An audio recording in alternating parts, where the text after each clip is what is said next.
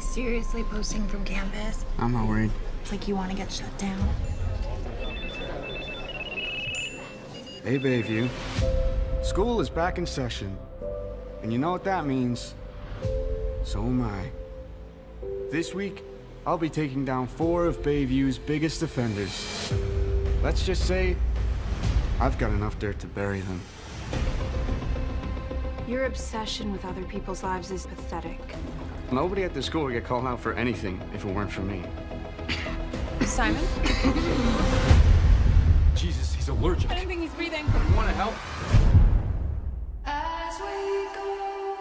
Detective Wheeler has a couple questions. Wasn't it an accident? They think one of us did it. Without Simon, you get to be valedictorian. You're accusing me now. I know that. I don't know you. We need to work together now. And why should we trust you? So you guys have no secrets. I've got too much on the line. Tell them the truth. It's not gonna change anything. Everybody here hated him. But who also hated us?